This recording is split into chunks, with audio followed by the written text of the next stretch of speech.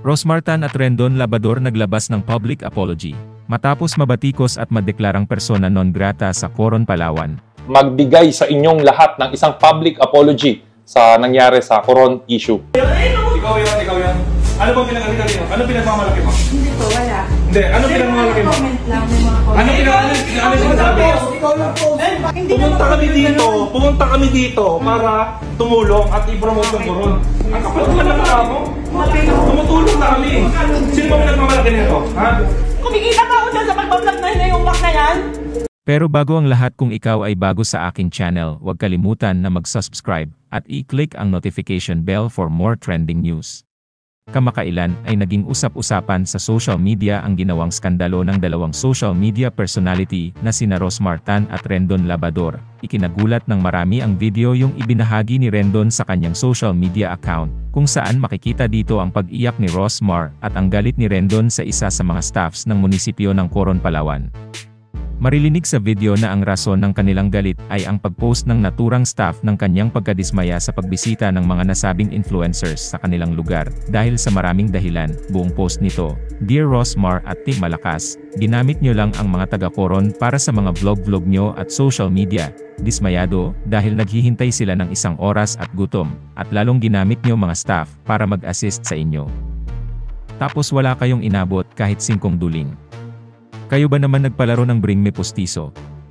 Hindi nyo nga hinawakan, huwag nyong sabihing malaki pa na ubus nyo kakapamigay kumpara sa kikitain nyo. Sana namigay na lang kayo sa daan, natuwa pa mga tao kesa ginawa nyo, pinaasa nyo na, ginawa nyo pang mga bata, mga matatanda sana na lang inunan nyo, hinahamon ko na nga suntukan sa rendon, naghubad pa talaga, ekis kayo.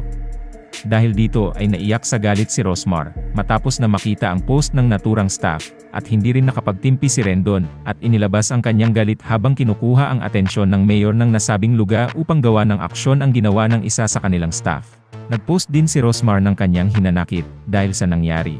Lalo na at mumisita lang na manumano sana sila sa Coron upang magbakasyon, gayon paman ay naisipan nilang mamigay ng tulong sa ilang tao doon. Ngunit hindi raw nila ini-expect na ganoon pa ang maririnig nila mula sa staff ng munisipyo ng Coron, Palawan. Mga pahayag ni Rosmar, kami na tumulong, kami pa ang masama.